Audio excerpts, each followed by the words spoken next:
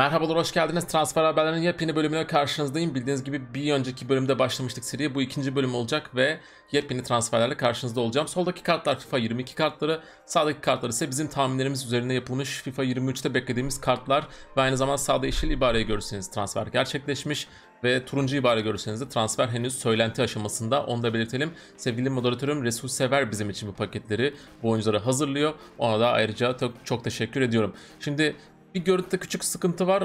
O piksellenme var. Biraz kalite düştü. Ee, şu an siz bu videoyu izlerken ben muhtemelen Londra'da olacağım. Ve hani düzeltebileceğim bir zaman aralığım yoktu. Onun için kusura bakmayın. Ve sözü fazla uzatmaya gerek yok. Videomuza geçelim. Areola ile başlıyoruz. Areola ilk transferlerden bir tanesi bizim için West Ham United'ın yolunu tutacak ve 83 rating olmasını bekliyoruz. Areola'nın iyi kalecilerden bir tanesiydi geçmişte.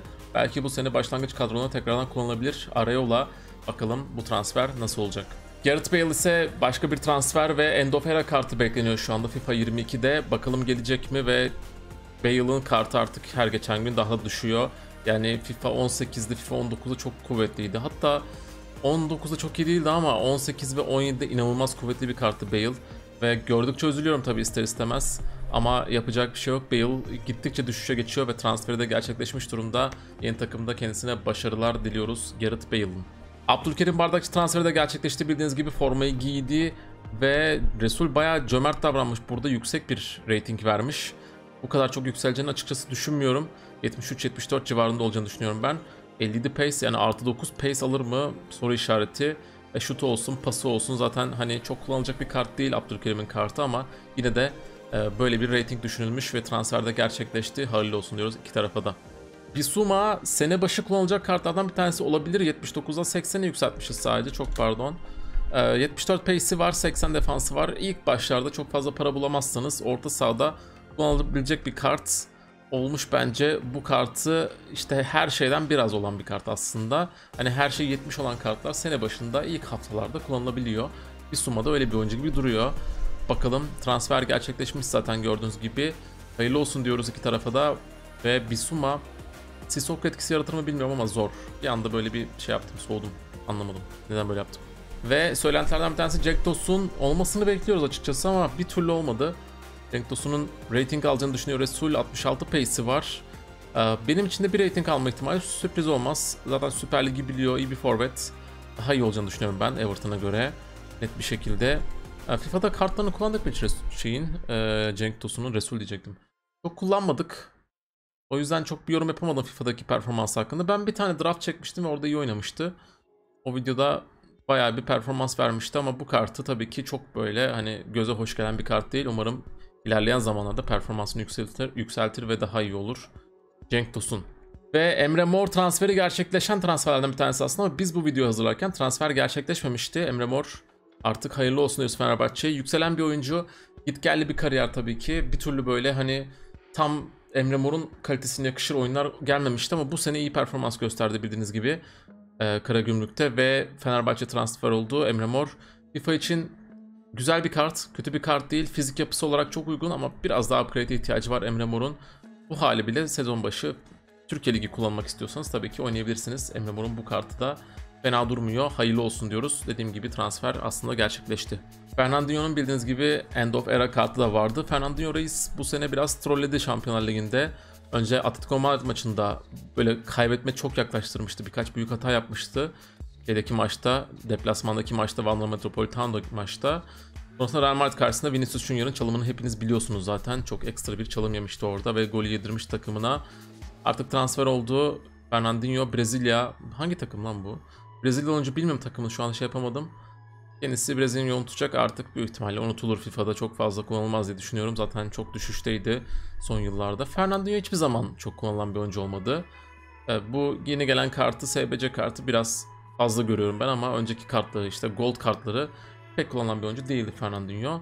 Transferi hayırlı olsun diyoruz Fernandinho'nun da. Mario Götze PSV'nin oyuncusuydu. Galatasaray'da gol atmıştı hatta sene başı UEFA Şampiyonlar Ligi elemesinde ve Frankfurt'u unutacak UEFA Avrupa Ligi şampiyonu Frankfurt Götze'yi kadrosuna kattı. İyi bir transfer olduğunu düşünüyorum ben. Götze her zaman hani tecrübesiyle fark yaratacak bir oyuncudur. Ve tabii ki dünya şampiyonluğu var. Götze'nin attığı gol hiç unutulmuyor. Messi fanları üzgün. Ben de üzülmüştüm bayağı o maçta. Götze'nin yeni takımı Frankfurt olmuş. Upgrade olur ama çok büyük upgrade'ler. Tabii büyük sürpriz olur.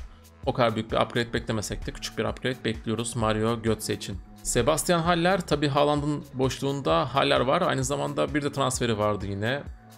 Bildiğiniz gibi Adeyemi almıştı. Borussia Dortmund ve Haller. Bakalım transfer olacak mı Dortmund'a? 82 reytinge yükselmesini bekliyoruz ama hızlanması lazım. Çok acil bir şekilde hızlanması lazım Haller'in. Ajax'da bence çok iyi performans göstermişti Şampiyonlar Ligi gruplarında. Ama sonrasında olmadı. Borussia Dortmund transferi henüz söylenti aşamasına gerçekleşirse tabii ki o da iyi bir transfer olur. Ama FIFA'da ağır bir kart olduğu gerçeğini değiştirmiyor bu durum. Pek kullanılacağını sanmıyorum. Ve Kunde Barcelona yazılıyor. Henüz söylenti aşamasında Kunde 83 hızı var ve beklenen istenen oyunculardan bir tanesi iyi bir stoper oyunda. Ben birçok kartını kullandım bu yıl ve gerçekten memnun kaldığım kartları olmuştu. Bakalım gelecek mi? Güzel bir kart, etkili bir kart. Kesinlikle Barcelona transferini isteriz tabii ki. Barcelona'nın yeni transferlerini de görmek lazım. Hani bağlantı açısından ama bu transfer heyecan verici oluyor. FIFA'cılar açısından da başlangıç kadrolarında Kunde'nin bol bol yer bulduğunu biliyoruz zaten. Bakalım bu transfer gerçekleşecek mi? Minamino Monaco yazılıyor. Liverpool'dan çok fazla şans bulamadı zaten Liverpool'da. Özel bir kartı var mıydı geçtiğimiz yıllarda? Pek hatırlamıyorum. O yüzden e, çok fazla kullanılacak bir kart olmayacak yine Monaco'da ama etkili bir kart olabilir. 82 pace'i var. Yok vazgeçtim olamaz. Yani çok iyimser konuşmaya gerek yok bu karttan pek bir şey olmaz. Upgrade alması muhtemel mi? Çok sanmıyorum ben. 76 olur maksimum ama 75 kalabilir diye düşünüyorum. Minamino Monaco'yu tutar mı bakalım göreceğiz. Zaman gösterecek Minamino için de. Ve bir Süper Lig transferi Muleka. Muleka iyi duruyor aslında 74 ratingi yükselmesini bekliyoruz. 82 pace, 73 şut. E, gümüş bir oyuncu için fena değil tabii ki. Hızlı oyuncular her zaman iş yapıyor. Transferi de merakla bekliyoruz. Bakalım gerçekleşecek mi? Muleka transferi. Çok fazla üzerine konuşulacak bir şey yok diye düşünüyorum ben. Beşiktaş e, Weghorst çok yakın biliyorsunuz Weghorst'a ama bir önceki videoda Weghorst yaptığımız için burada Weghorst'a yer vermedik. Muleka gelirse de ayrı bir konuşuruz. Ama gerçekleşecek mi bakacağız. Ve Endombele yine Galatasaray yazılan oyunculardan bir tanesi.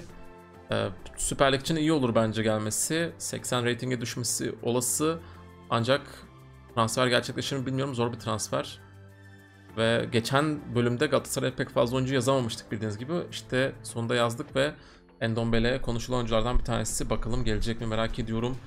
80 pas, 70 şut. İşte idare edecek bir oyuncu. Çok bir şey beklememek lazım ama yavaş kalan bir oyuncuydu zaten aynı zamanda Ndombele. Süper Lig'in kalitesine artı katacağı da kesin tabi. Ve evet en büyük transferlerden bir tanesi Neymar Junior Chelsea yazıldı. Büyük bir transfer olur mu bilmiyorum ama Neymar'ın upgrade alamayacağı kesin gibi zaten. Bir, bir downgrade edeceğini düşünüyoruz. Yemezse de sürpriz olur bence. Neymar'ın kartları artık eskisi kadar kuvvetli değil. Eskiden çok iyi Neymar kartları vardı bildiğiniz gibi. FIFA 17, 18, 19 hepsinde çok iyiydi Neymar. 20'de tam hatırlayamadım. 21'de bir düşüş vardı zaten. Ve 22'de iyice düşmüştü kartı. Çok fazla kullanılmıyordu bildiğiniz gibi. Bakalım bu kart gelecek mi? Chelsea transferiyle belki kendini bulur Neymar. Zaman gösterecek ama güzel bir transfer olur. Heyecan verici bir transfer olur. Merakla bekliyoruz tabii ki. Van Perisic Tottenham'ı yolunu tuttu. Gerçekleşen bir transfer. Inter'de zaten ben çok beğendiğim bir oyuncu Perisic. Futbol olarak gerçekten çok beğeniyorum kendisini fark yarattığını düşünüyorum. Ee, özel kartları da bu sene çok oynadım. Hem FIFA'da hem de gerçek hayatta seviyorum kendisini. Transferi de güzel oldu. Perisic bence çok akıllı bir oyuncu, çok beğendiğim bir oyuncu. Daha fazla Perisic'i övmeden diğer oyuncuya geçelim bence çünkü hani beğendiğim bir oyuncu. Niye böyle sürekli övdüm bilmiyorum. Pop, evet Pop bu kadar. 83'ten 83'e. Newcastle'ın yolunu tutacak.